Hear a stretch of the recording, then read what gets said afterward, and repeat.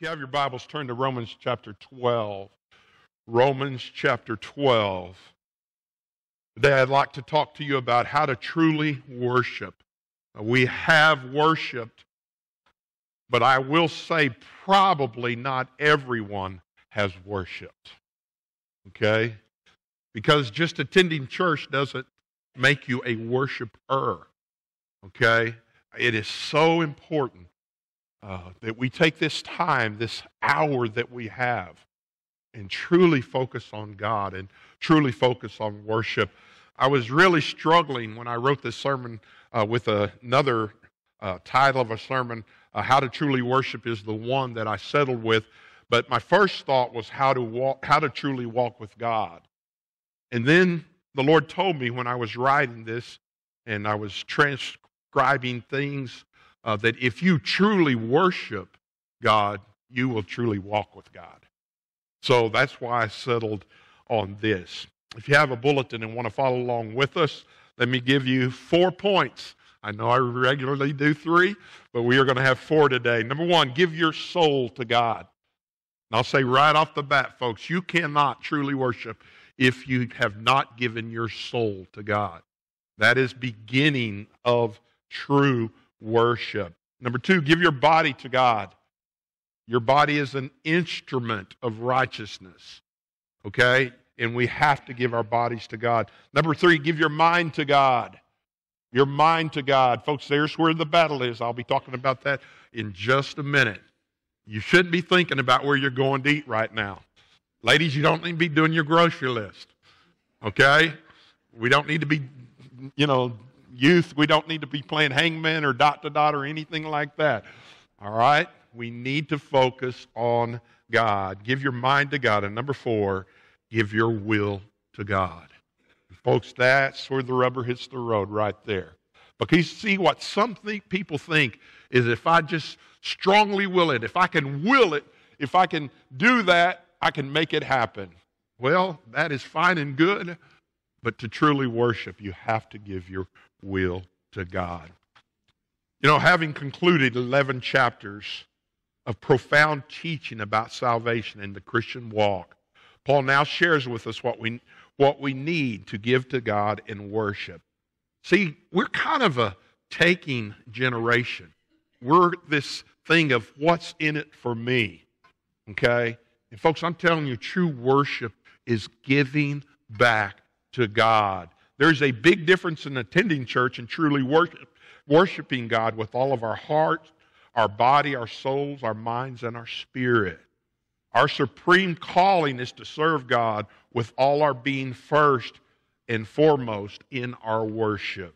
The key to spiritual victory and true joy in our lives is to surrender all we have to God and to be a living sacrifice, as the scripture says, for Him. The Bible tells us in John 4 24, John 4 24, uh, I want to just start out by reading that. John 4 24. God is a spirit. Notice capital S. It is the Holy Spirit that allows us to worship. That's why if you don't know Christ, you don't have the Holy Spirit.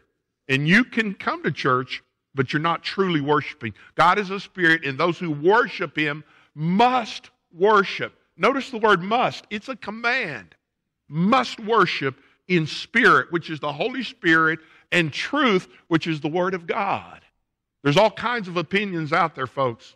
But when it comes to Christianity, when it comes to God, when it comes to Jesus Christ and the Holy Spirit, all that matters is what the Word of God says, not what man says. So we must worship in truth and in spirit. My prayer for all of us today is that we will tune out everything on our minds for the next 30 minutes and totally focus on God, Jesus, and the Holy Spirit as we worship Him today. Romans 12 begins the practical living of a true believer in Jesus Christ. Give your soul to God. Look at verse 1. I, I beseech you, therefore. Paul is saying, I encourage you, I admonish you, brethren. He's talking to Christians.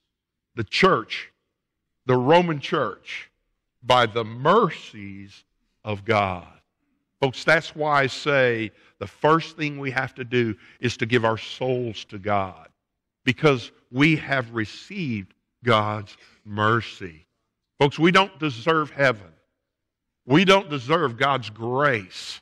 But God loves us so much that He sent His Son to die on the cross for our sins, which Steve just sang about. And I'm telling you, the key to worship is giving your heart and your life and your soul to Jesus Christ. You can sing, you can read, you can go to church, but to truly worship, you must be a Christian. You must be a believer.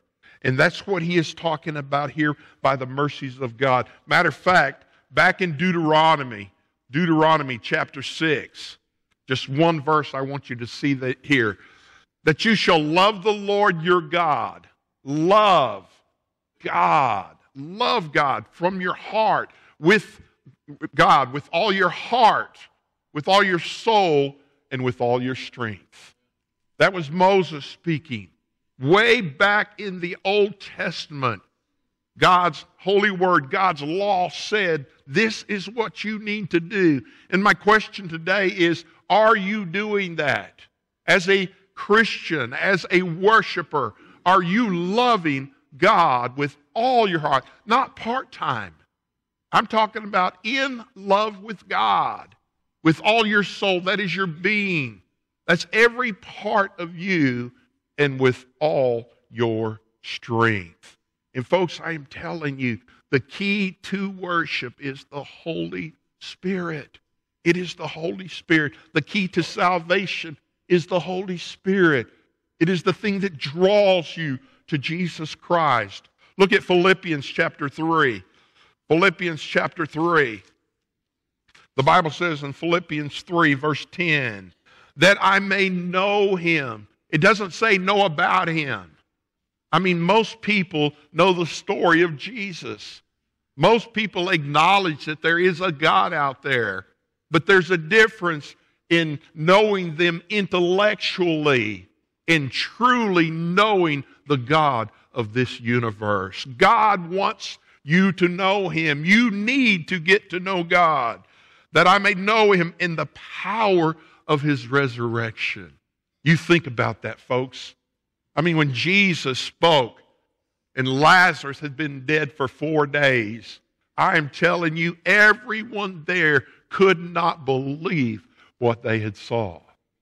In that same power of the resurrection. And you think about that. We were dead in our trespasses and sins. And God quickened us. God made us alive in Jesus Christ.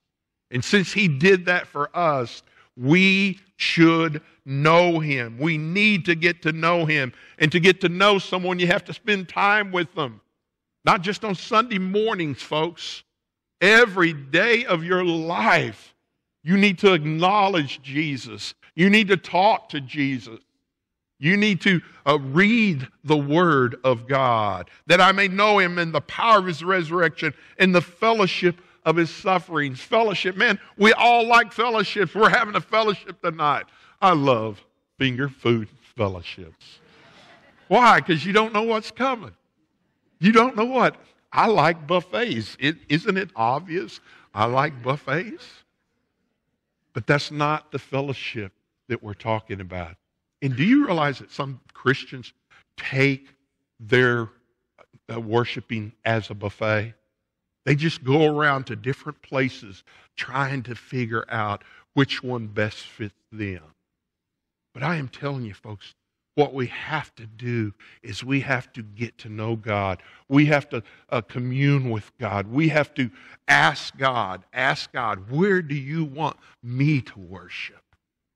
In the fellowship of his sufferings and being conformed to his death, if by any means I might attain the resurrection from the dead. Folks, when you give your heart and your life and your mind and your soul and your body to God, I am telling you, it is giving everything. What He is talking about is total surrender to God. I love that hymn, I surrender all. I surrender all, all to Jesus. Folks, that's what salvation is. And that is the beginning of your walk in your life with Jesus Christ. I know it's simple. I know most people here are saved, but not all who are here know Jesus Christ as their personal Lord and Savior. And worship begins in our soul.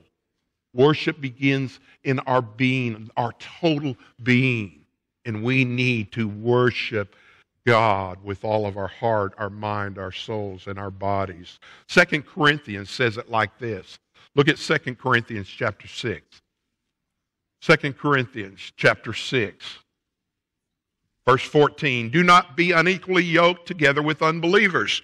There are believers and there are unbelievers. There are people that have given their heart and their life to Christ, and there are those who haven't. That's what he's saying. For what fellowship has righteousness with lawlessness?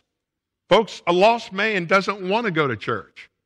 A lost man doesn't want to do what God wants them to do. They're being who they are. But when Christ comes into our life, everything changes. Everything changes. And it says, and what communion has light with darkness. It's either light or it's dark. We walk in this room, and if I can't see anything, it's dark. And sin is a description of darkness. We were blinded by Satan. We did not know Christ. And that first step to worship is knowing Christ and inviting Jesus Christ into your life. And what agreement has the has a, the temple of God with idols? For you are the temple of the living God. And I'll be speaking on that in just a minute. I will dwell with them, God says. I will walk with them. I will be their God, and they shall be my people. Folks, you want to hang around your people. My favorite day of the week is Sundays. Why? I get to hang around with you guys.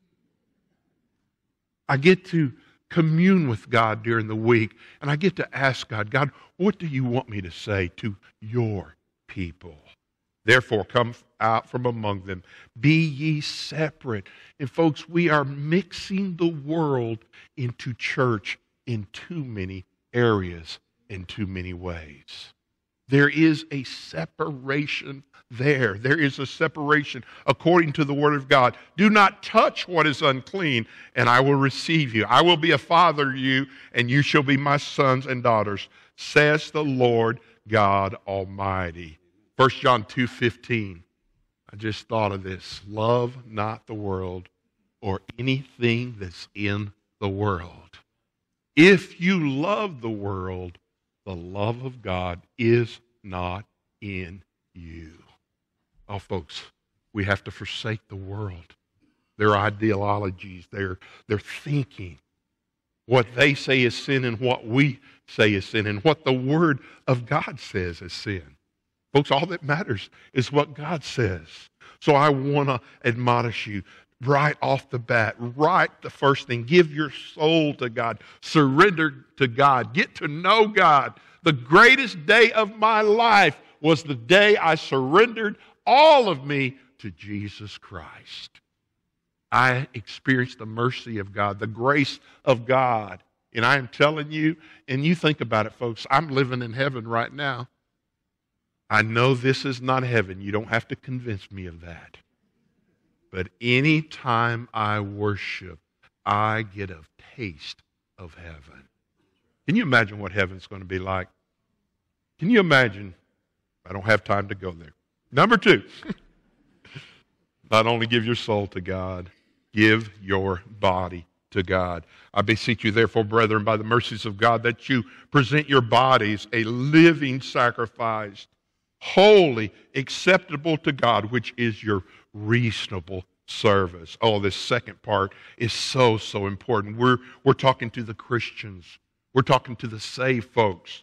Present your bodies. Folks, our bodies is, is who we are. You recognize me because of my body and, and certain correct characteristics that I have.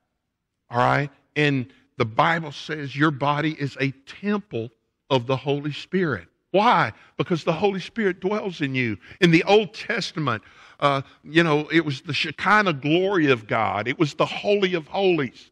It was that priest that would go in once a year and, and have atonement for our sins. But now our bodies are God's dwelling place here on earth through the Holy Spirit. So we present our bodies every day. God, this is my body. God, this is your body. It's not mine. And a living sacrifice. A dead sacrifice does no one any good. Again, that's Old Testament. That's the old covenant. The blood of the animals would roll back our sins. But the animals were dead, they were slain. We are alive. Thinking about it. What was the only living sacrifice that has ever been here on earth, literally? Jesus Christ our Lord. Jesus died on the cross for our sins. But you know what happened? Up from the grave, he arose. He is alive, and he was and is a living sacrifice. He showed us how to do it. He showed us. And he was in body form, folks. He was in, he, he had a literally human body. He lived 33 years of perfection, something that we don't even, 33 minutes is good for some of us. 33 days is even better. But 33 years that you present your bodies a living sacrifice. Now, here's the word holy. Man, when I think of God, I think of holy. Folks, we, we can't imagine in our flesh and blood, we can imagine what heaven's going to be like. We cannot comprehend it. John, the apostle, just simply said, Eye hath not heard, ear, hath not heard, and eye hath not seen. You have no clue what heaven's going to be like. But I tell you one thing It'll be holy up there. No more sin. No more sorrow. No, no, no more death. No more crying. None of these things. Present your bodies a living sacrifice, holy, acceptable, God, which is your reasonable service. Folks, God isn't unreasonable. He really isn't. He gave you eternal life. And we should, we should give back to Him everything that we are. Everything that we are. And one of the things that we can do in worship is giving our bodies to Him. Folks, not just on Sunday. Think about it. It's what you say during the week, it's where you go during the week, it's where your feet walk, it's what your eyes see. In that word, if you, if you uh, you know, write in your Bible, please circle the word holy. And I know I'm not holy all the time. I know I don't always say the right thing. But I'm telling you, I desire that in my life. And that's what he's saying. Give your body to God. Matter of fact, being spirit filled is the key to being holy. Being spirit filled. 1 Corinthians 6. Go to 1 Corinthians 6 with me. 1 Corinthians 6:18 Flee sexual immorality. Young people, save yourself for marriage. That's what the Bible says. Doesn't matter what the world says. Doesn't matter what everyone else is doing. He wants you pure. He wants you holy. He, the Bible tells us that marriage bed needs to be undefiled. Flee sexual immorality. Every sin that a man does is outside the body, but he who commits sexual immorality sins against his own body. You are giving away your body if you do that outside the marriage bounds. You are doing that. Your body is God's. It's the temple of the Holy Spirit. Or do you not know that your body is the temple of the Holy Spirit who is in you, whom you have from God, and you are not your own? Folks, I don't own myself. I do make decisions for myself, but God owns me. I signed up. I'm a soldier in the Lord's army. I go where He tells me to go. I do what He tells me to do. It's like the military. Man, you those that have been in it, you know what it is. You don't wake up and say, oh, "No, Sarge, I want to sleep in today." You will find out a different language by most sergeants, not all. I'm simply saying we should wake up and say, God, I give, your my, I give you my body today. I give you my mind today. I give you my heart today. I give you everything. For you are not your own. You were bought at a price. Let me tell you the price. You say, was it a million dollars? No, it's worth more than that. It was the blood of Jesus Christ that paid for you. It was the Son of God's blood that paid for you. That's how much God loves you. Therefore, look at this glorify God in your body and in your spirit, which are of God's. And folks, you cannot separate the body from the spirit because if you separate the spirit, you're dead. You're just dead. Now, folks, we have to obey God. We have to give our soul to God. We have to give our bodies to God. And being spirit filled is the key to that. Number three, not only give your soul to God, not only give your body to God, give your mind to God. And I went a little quicker on the first two because of the third one. Folks, here is where we lose some battles. Satan has got us right where he wants us. He, don't, he does not want you to have confidence in your salvation. He does not want you to walk with God. He does not want you to read your Bible. He does not want you to pray. He did not want you to go to church today. I guarantee you there's somebody here today that devil did everything he could to try to keep you from coming today. But you overcame. You are here. My Bible says, Greater is he that is in me than he that is in the world. And we have to give our minds to Christ. Look back in our text. Look at verse 2. And do not be conformed to this world. We've already talked about that, about that. But be ye transformed. Transformed. And again, I'm not really into kids' movies as far as that goes, but I've seen the Transformer movie or, or parts of those. And folks, what it means is totally changed by God. He transforms us. It's like a, a, butterfly, the transformation. If you've ever watched the butterfly uh, from a caterpillar and how that changes. Matter of fact, Lori has a little children's book that you take this book and you start flipping it. Have you seen those things? Where it's just a caterpillar and at the end, and these pictures are going. Kylie loves that little book. Do that again for me, Papa. And folks, we have that same transformation in our lives before you got saved. Before you were saved, you were lost. You were bound for hell according to the Word of God.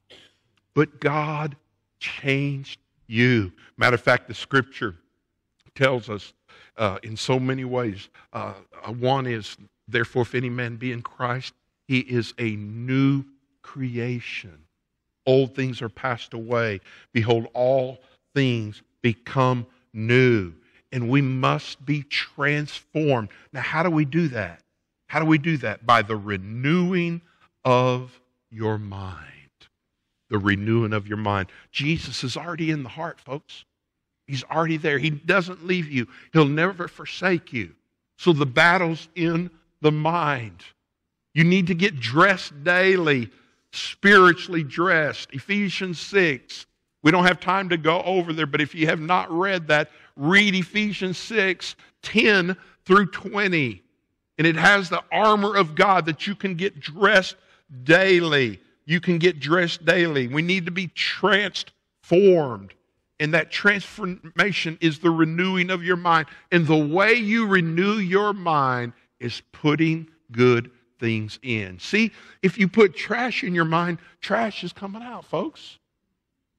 And so many times, uh, you know, we, we don't make good choices about what we are watching on TV or watching on our phones, or maybe even the movies that we rent and some of the choices that we make. That battles in the mind, and Satan wants to put those awful things in your mind. Satan wants to battle a God in that way, and our mind is where the battle is. And you can control your thoughts. You really can. And I understand there's a difference between thoughts and dreams.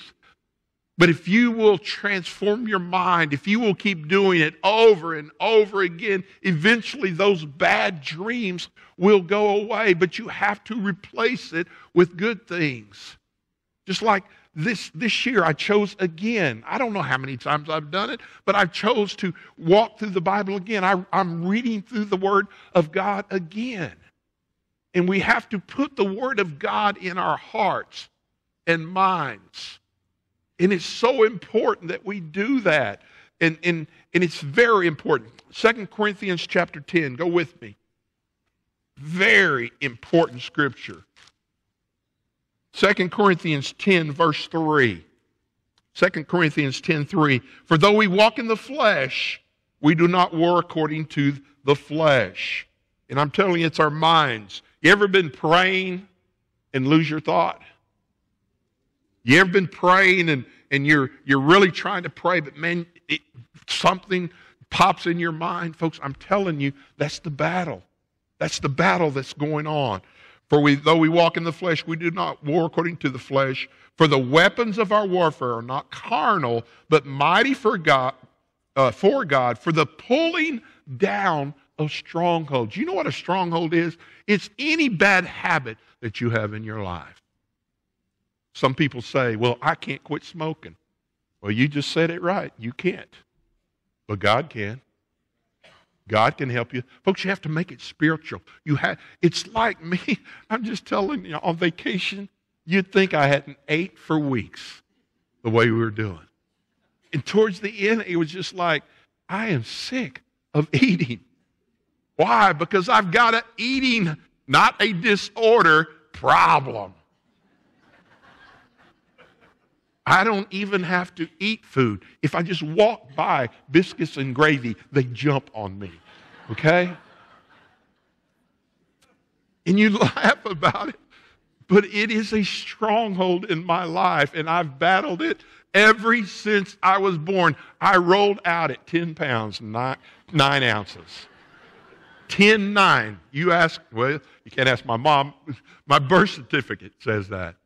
And I've been battling. Why we joke about it, folks, it is no different from smoking or having a drug addiction or having something else going on.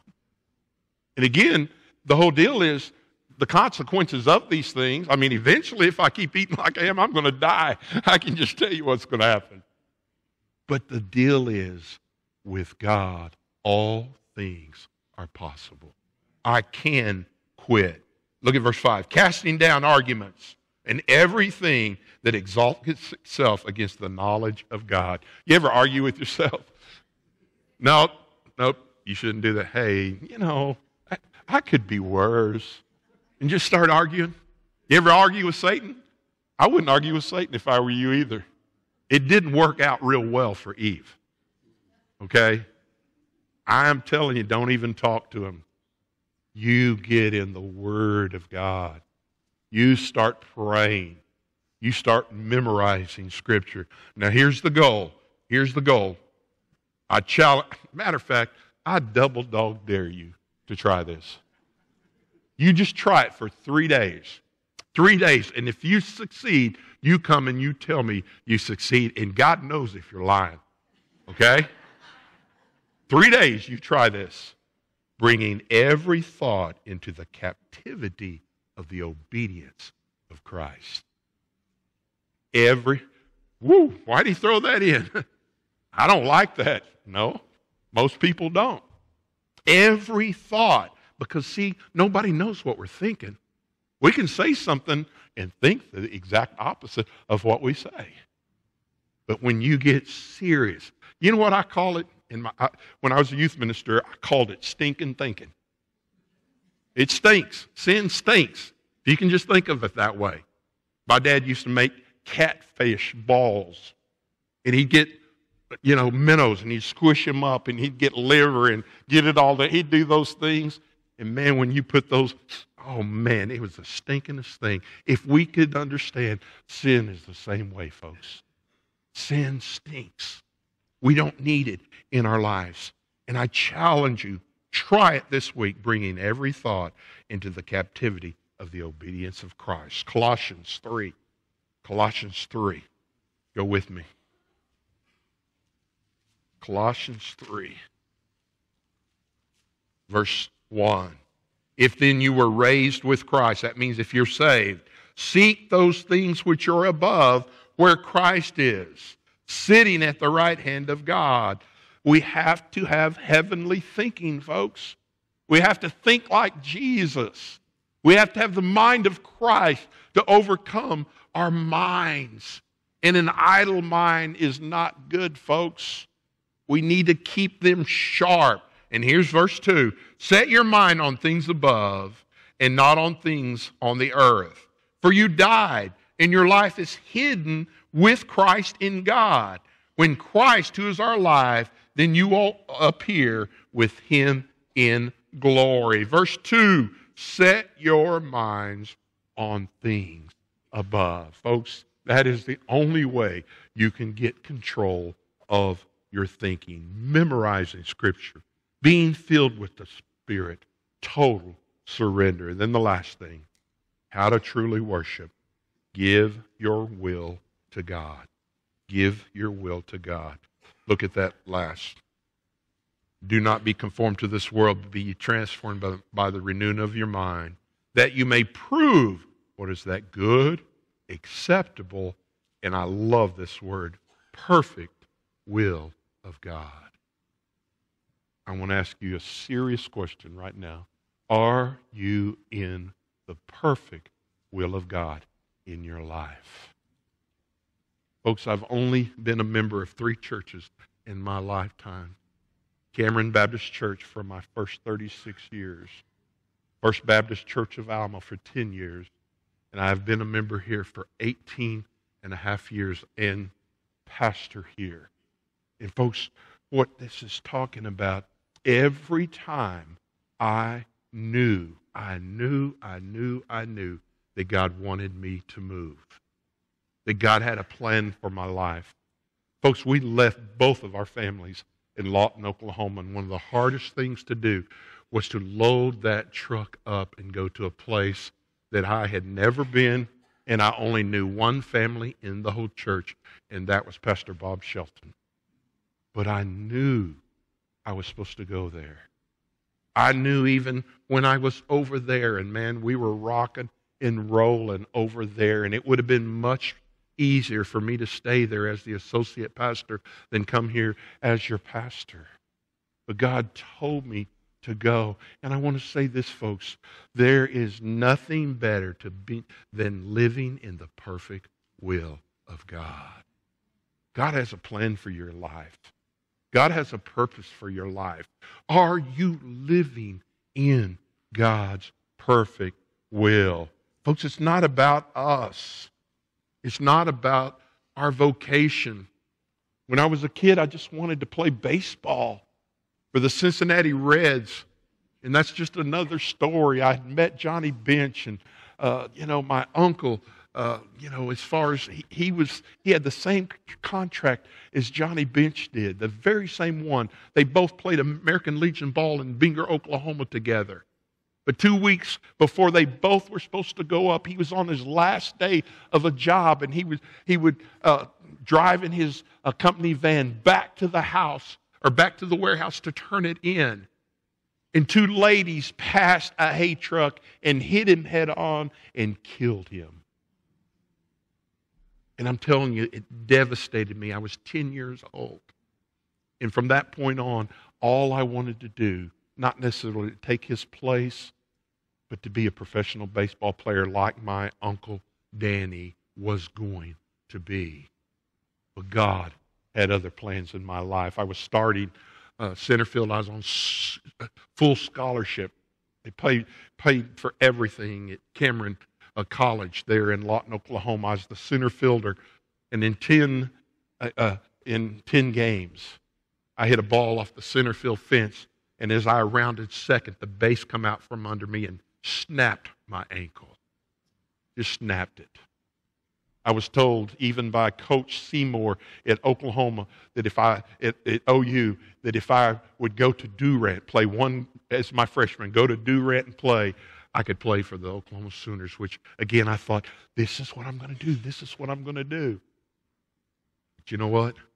I do not think I would have ever been in this place here this day if I didn't. And folks, I'm telling you, it wasn't that it was, I mean, it was God's will, but if He'd have just asked me, hey, why don't you quit baseball? Why don't you just get in the ministry? Have said, I don't think so. But even God, knowing, God knowing. Folks, I am 64 years old, and I am doing in my life what God has, has destined me to do. There's nothing else I want to do. There's no other place I want to go. Because this is home. This is what God wants me to do. And I'm telling you, folks, the perfect will of God is the best. And, and sometimes we look at things that are good and we look at things that are better. But do you know what God wants for you? He wants His best. His best. And sometimes He has to take things away from you to get you in His perfect will. And while we don't understand all that God is doing, there's no better place to be than to be in the perfect will of God. Prayer is the key to finding God's will for your life. Prayer is the key. I hope you write that down. Matthew 26, and I close with this. Matthew 26. And this is Jesus himself, folks. This is how Jesus did it. Then Jesus came with them, verse 36, to a place called Gethsemane. The word literally means pressed. He was about to die. He's about to go to the cross. And the disciples, sit here while I go and what? Pray over there. And he took with him Peter and the two sons of Zebedee, and he began to be sorrowful and deeply distressed. Why? Because the human side of him, if you punched him in the face, it hurt. If you pulled his beard out, it hurt. When those nails went through his hand, it hurt. And the human side was thinking, then he said to them, My soul is exceedingly sorrowful, even to death. Stay here and watch with me. He went a little further and fell on his face, what? And prayed, saying, Oh, my Father, if it is possible, let this cup pass from me. He knew what was going to happen. He knew the pain and the sorrow. He knew it. But yet, no, look what he said. I love that next word. Nevertheless, not as I will, but as you will. Folks, you better thank your holy God that Jesus did the will of his heavenly Father. He was in perfect harmony with his Father. I just want to say the key to spiritual victory and true joy is not getting all we can from God, but giving all we are and all we have to God. I'll say it again the key to spiritual victory and true joy is not getting all we can from God, but giving all we are and all we have to Him. Father, thank you for the day. God, I pray that, and I know most people have given their soul to God, but Lord, if there's one here that doesn't know you, I pray they would do it today that they would come down the aisle and give their heart and their life to Jesus. God, I pray we'd give our bodies to God. Oh, we always don't do that. We don't always do that. I pray we'd give our minds to God. That's the struggle. And I pray we'd give our wills to God. God, I pray that we would truly worship. And as we go from this place, after we have worshiped, God, I pray that we would truly walk with you this week. I pray that when we walk in a room, somebody would know that it's different. I pray that the Holy Spirit would so well up in us that they would say, There's something different about that person. And God, I pray that we would just do our best to stay in the perfect will of God. God, this is your day. This is your church. This is your invitation. And God, I pray that our folks would just be uh, honest with themselves. And God, I pray they would simply obey the Holy Spirit. Whatever God tells them to do, I pray that they would do it. God, we love you. We praise you. We thank you for the Word of God. We thank you from the challenge from the Word of God. God, we give you this time. We love you. And God, I pray especially for the Christian. God, I pray that they would use that word. Lord, there's one word that has to happen for all this to happen it's discipline. We have to discipline ourselves to pray, discipline ourselves to read the Bible, discipline ourselves to memorize Scripture. So, God, I pray that we would do it with all of our heart, our soul, our minds, and our bodies. In Jesus' name I pray, amen. Would you stand to your feet? If God has spoken to you in any way, would you come?